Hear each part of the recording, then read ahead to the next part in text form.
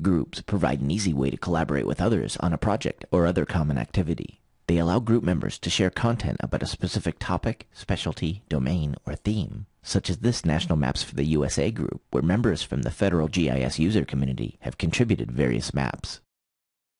There are several ways to participate in groups.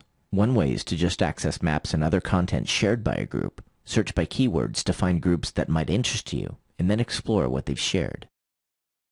You can also participate by joining groups that accept members and share your content that's related to the purpose of that group. For example, if you have maps or data related to recent events, such as the earthquake in Haiti or the flood in Australia, you can search for earthquake groups, open the Haiti earthquake group page, and see that they accept membership requests.